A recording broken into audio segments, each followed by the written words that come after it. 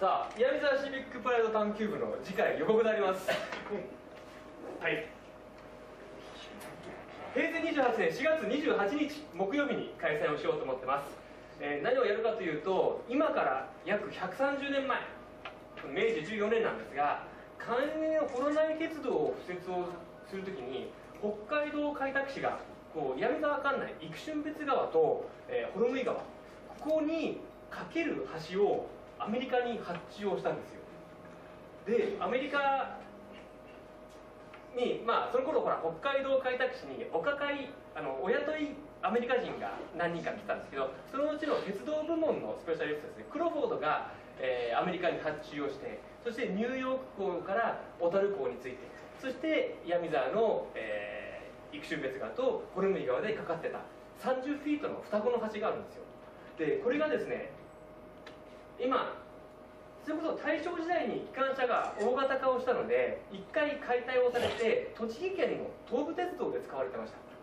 でそれも平成に入って今度は必要なくなったでまあ老朽化ですね。建て替えをするときにバラバラになって。で一つはそんな130年も前の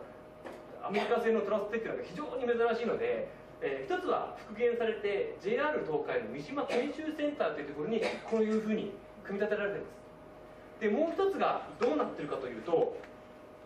岩見沢の市内の某所でこんな風になって実は帰ってきてます。これ、まあ、当時新聞とかで見た方もいると思うんです。けど今からもう十何年前ですね、えー実はひっそりと帰ってきて、今このように野ざらしになって置かれています。でこれをまあごめんなさい。もう一個ですね。でこれ現地の岩見沢駅と上幌海駅の間とあと豊幌駅と幌海の間2箇所なんですがそのうちの1箇所の写真ですけどこうやって当時のものと思われる橋桁がまだ残ってたり、えーしています。でまあこんな貴重な橋があるんですよね。でなんで117年もの長きにわたってこう現役で使用され続けたのか、ね、またこのトラス鉄橋が、えー備えるドラマって一体何だろうか。またこのトラス鉄橋がゆくゆくの岩見沢にもたらす価値って一体どんなものがあるんだろうかっていうようなことを次週次週ではなく次回、えーちょっと突き詰めてみたいなと思っています。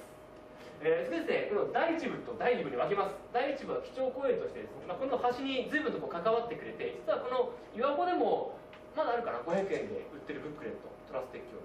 ここにはないかな。評判もないです。そっか。えー、とねしたらあそこの山の記憶マネジメントセンターで多分まだ扱ってると思うんですけどあのね、え1冊500円でねこのトラス鉄橋の詳しいブックレットを作ったの、まあ、それを中心的に作った石川さんがちょっと前段で基調講演をしてもらってで第2部のトークセッションとして1回目のシビックプライド探求部で、えー講師をしてくれた。吉岡先生。これものすごく優秀というかもう天才なんですけど、えー吉岡先生がコーディネーターをしてそしてスピーカーとして今そこにいる橋のプロ笠井さん。ね。あせっかくなら立ってください。ね。はい。笠井さんとあとですねこの本州から岩見沢にこの橋をも持ってくることにとてつもなく力を発揮をしてくれたのはこの瀬尾さんがいるおかげで今闇座なんですけどその瀬尾さんと、まあ、この4人でうん講談はトークセッションをするで深めていくっていうような回にしたいなと思っています。ぜひこれはマニアックでまた面白い回になると思うのでえぜひ関心のある方は平成28年4月28日木曜日18時30分からまたここでやりますのでできれば事前申し込みをしていただけると、えー準備がしやすいなと思っておりますのでよろしくお願いします。ということで次回の勉強会について笠井さん一言意気込みの PR をお願いします。すいませんまとめちゃぶりで。いやなかなかあの、ー講師をやるのは全然しばらくぶりなんで、えーうまく話せるかどうか心配ですけど。まああの石川さんっていうのは結構いろんなところでお話ししててまああのもともと土木学会北海道支部の戦勝土木遺産選考委員会というとこがこのトラス橋の保存というのを強力にバックアップしてますんでそこの委員なんでまあ面白い話が聞けると思います。あの次回ぜひまた皆さんよろしくお願いいたします。よろしくお願いします、はい、ということで